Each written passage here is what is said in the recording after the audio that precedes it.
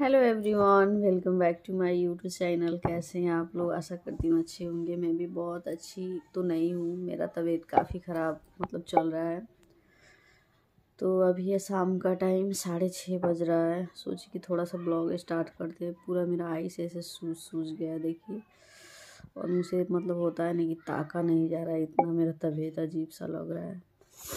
तो सोची कि थोड़ा सा आप लोगों के लिए ब्लॉग भी तो जाए। दो तीन दिन हो गए, दो तीन दिन से कोई ब्लॉग नहीं बन रहा है। पता नहीं, आँख सब ये ऊपर का पूरा मेरा इतना सूज गया है दोनों, क्योंकि ज़्यादा मैं सो रही हूँ। पता नहीं क्यों इतना वीकनेस फील हो रहा है। तो अभी भी सोई थी तो थोड़ा सा उठी और लेके बैठी हूँ कुछ खाने के लिए। दिखाती हूँ क्या खा रही हूँ।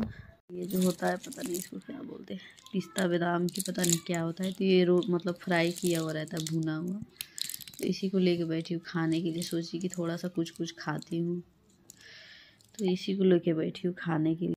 और अभी खाना वाना कुछ भी नहीं बना है थोड़ा सा इसको खाने के बाद पानी वानी पीती हूँ, उसके बाद देखती हूँ कैसा होता है। दवाई तो अभी मैं खाई हूँ। अच्छा फील होता है तो मैं थोड़ा सा मतलब खाना उना देखती हूँ क्या बनता है। कल भी खाना कुछ नहीं बना था, कल तबीयत ही ठीक, कल और बहुत ज़्यादा तबीयत ख़राब था। और आज भी धीरे धीरे वैसा ही लग रहा है, आँख से मतलब आँख मेरा खुल नहीं रहा है, ऐसा तबीयत लग रहा है। तो देखिए, एक डेढ़ घंटे के बाद क्या होता है मुझे भी नहीं मालूम होता कब क्या हो जाता है मेरे साथ कुछ मालूम नहीं चलता है। तो दवा खाई थी तो मुँह एकदम कड़वा कड़वा हो गया था तो सोची कि थोड़ा सा इसको मतलब खाने के बाद पानी पीते हैं क्योंकि मुँह इतना सूख रहा है ना। तो उसके बाद देखते खाना क्या बनता है। दिन का काफ़ी सारा खाना बचा है। तो देखते हैं आगे क्या बनाती हूँ मैं। तो बने रहिए ब्लॉग में।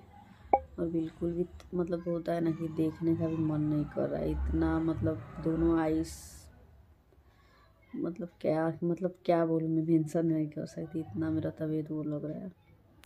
तो बने रहिए ब्लॉग में। थोड़ी देर बाद मिलती हूँ मैं आप लोगों से। देखती हूँ, मिलती हूँ कि क्या होता है। बने रहिए ब्लॉग में।